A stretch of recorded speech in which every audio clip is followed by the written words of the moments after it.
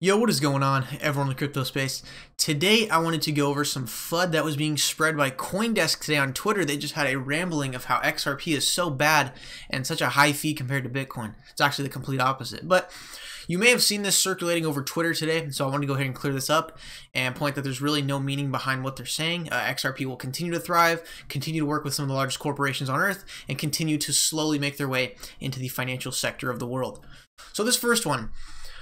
Coindesk states Ripple's global head of infrastructure innovation says XRP is a network asset. It is not issued by anybody.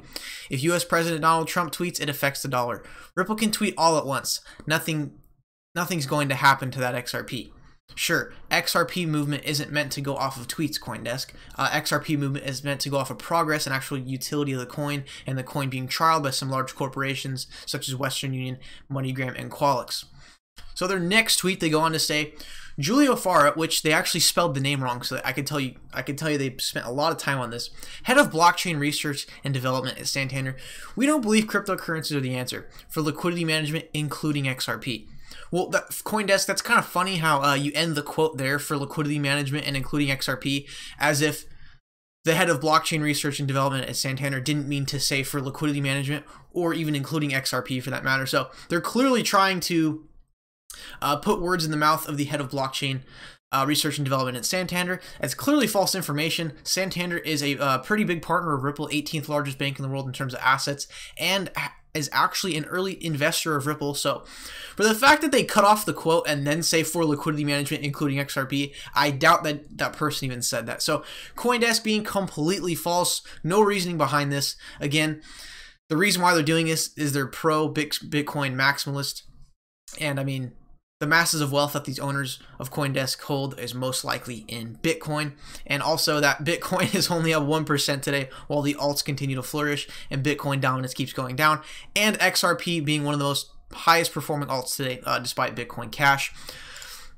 So this next one, Jesse Lund, IBM's global vice president of blockchain and uh, distributed ledger technology markets. The only mainstream blockchain application out there is Bitcoin. Uh, what's funny is that they tweeted this pretty much directly after they made this tweet about Ripple right here. And also IBM uh, stock's been going down uh, ever since 2013. So very credible. So guys, really, I just wanted to point out that whenever you see this Bitcoin propaganda of just hating on other coins, not even just XRP, if they keep hating on other coins and say something's bad, don't listen to them. Like, I don't even care what coin you're in, even if you're in Ripple, uh, Cardano, Ethereum, Litecoin, whatever you're in. If you ever hear media bashing your currency, it's usually false. It's they're doing that because they have their propaganda. I mean, sometimes my channel, I mean, I kind of bash on Bitcoin because it does hold the market down, but that's a fact. It really it does hold the market down and uh, prevents the altcoins to flourish, as Bitcoin with the slow, outdated technology keeps holding down the market. So. Thank you guys for watching this video. I wanted to clear up some FUD out there today. Don't listen to Coindesk about anything in XRP. Historically, they have been very, very anti-XRP and are probably mad that XRP is rising despite Bitcoin being flatlined. So, thank you guys for watching this video. Make sure to drop a like and subscribe to support the channel. Just crossed 12,000 subs today. Thank you guys so much. Uh, check the link in the description. You want to pick yourself up a Ledger OS. So, thank you guys for watching this video. I will see you in the next one. And remember to not listen to FUD. See you in the next one.